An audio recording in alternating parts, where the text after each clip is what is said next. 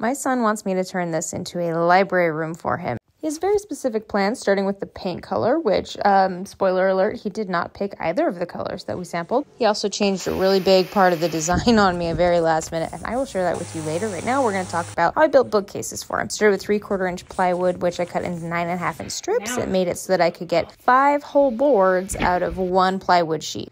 I primed and painted them before I started building because that's going to make the finishing work so much easier. I put it all together with pocket screws. I hesitate to tell you how to do shelves because I don't know that this is the correct way, but I use corner clamps and pocket screws again. I spaced these all pretty evenly. These are about 13 and a half inches apart each, and this is an eight foot ceiling just for reference.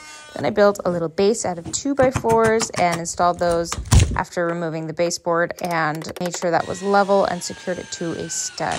This is gonna make it so I can put a baseboard on, which is gonna make it look really finished. Okay, time for a dry fit. A triumph. Painted the walls before